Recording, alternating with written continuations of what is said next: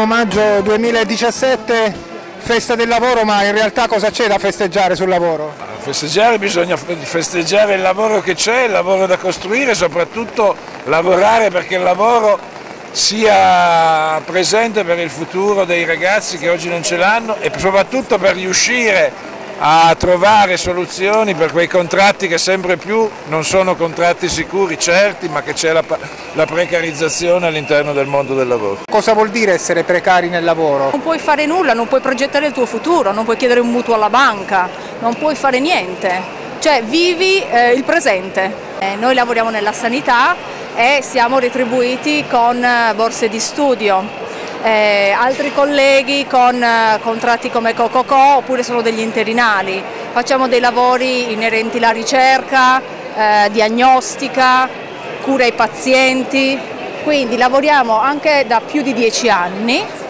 e abbiamo sempre questa tipologia di lavoro, chiamiamolo così, che poi non lo è effettivamente.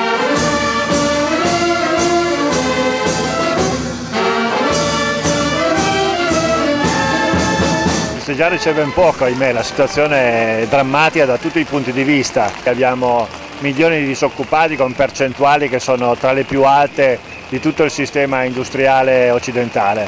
Per quanto riguarda il precariato direi che il Jobs Act ha soltanto dato il colpo di grazia a una situazione che era già fragile di suo e abbiamo una situazione di precarietà generalizzata con la possibilità di ricatto sul posto di lavoro in modo sempre più incisivo e sempre più pesante da parte dei datori di lavoro. Landini qualche anno fa aveva detto che era disposto a fare le occupazioni per riconquistare l'articolo 18, non se n'è fatto niente. Ma noi lottiamo ogni giorno, ovviamente come dire ogni situazione è una situazione a sé stante, quando abbiamo la possibilità di, con dei rapporti di forza adeguati siamo anche nella condizione di occupare eventualmente le fabbriche, il problema è che oggi il lavoro non c'è. La vera alternativa è la ripresa del conflitto e la prima cosa da fare è denunciare l'accordo sulla rappresentanza come il sistema più efficace per imbrigliare le lotte e imbrigliare il conflitto.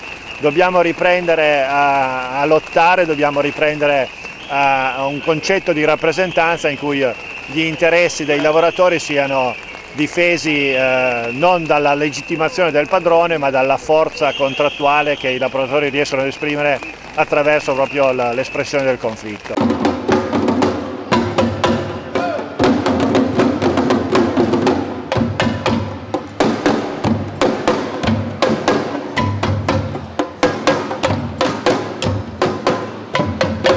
Spesso si dice che si stava meglio quando si stava peggio, quando si stava peggio però negli anni 70-80 i lavoratori lottavano, scioperavano, occupavano. Credi che vada bene così o bisognerebbe riprendere a lottare? No, non va bene così, bisognerebbe riprendere a lottare, anche vero, noi siamo una generazione un po' stanca, mettiamola così, e dovremmo farci più coraggio effettivamente.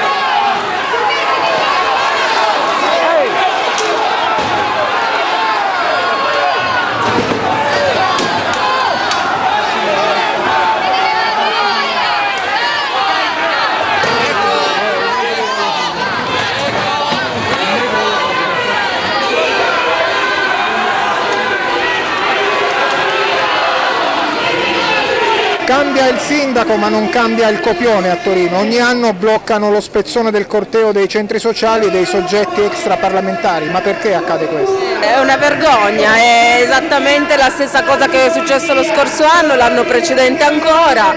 Purtroppo non si vuole che il pezzone sociale, quello che magari può anche portare avanti una contestazione, arrivi fino in piazza. E questo secondo me la chiamano democrazia, ma è evidente che siamo, come dire, non in una democrazia. Tu hai notato provocazione da parte no. del corteo? No, assolutamente no. Il corteo stava andando avanti liscio, tranquillissimo, solo che ad un certo punto la polizia si è messa, cioè l'ha proprio spezzato in due e ha deciso appunto di provocare tutto quello che stiamo vedendo qua adesso, ma non, non c'è stata nessuna provocazione da parte del corteo.